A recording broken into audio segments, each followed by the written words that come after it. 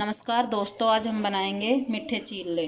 तिल लिया है, ये आटा है, एक चम्मच सौंफ है, और ये मैंने गुड़ भिगोया है गर्म पानी में। आटा डाल लेंगे। सौंफ कुटी हुई है। इसे हम मिक्स करेंगे।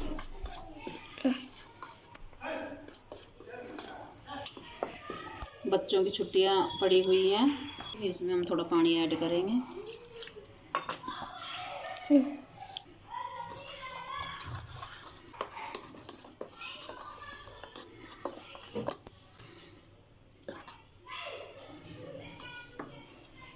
बैटर इस तरह का होना चाहिए। तिल को रोस्ट कर लेंगे।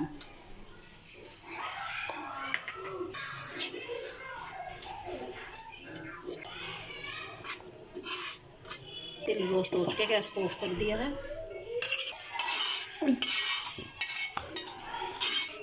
रोस्ट किए हुए तिल इस बैटर में मिक्स कर देंगे। इससे हमारे चिल्ले बहुत ही अच्छे बनेंगे।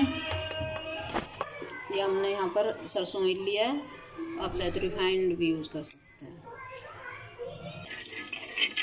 इस तरह ऑयल को तवे पर फैलाएँ इससे एक बड़ी चम्मच चिल्ले का बैटर डालें।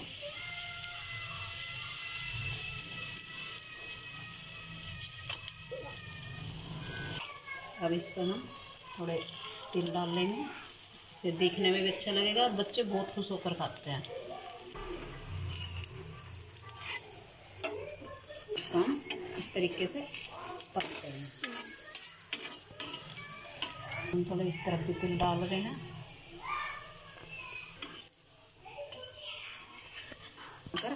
तैयार है कड़कती ठंड में गरम गरम मीठे चिल्ले खाने का मज़ा ही कुछ और है। ये देख, दोनों तरफ़ से कितने अच्छे से आगे हैं। वीडियो अच्छी लगे शेयर सब्सक्राइब एंड कमेंट में ज़रूर बताएँ। वीडियो को लाइक करें।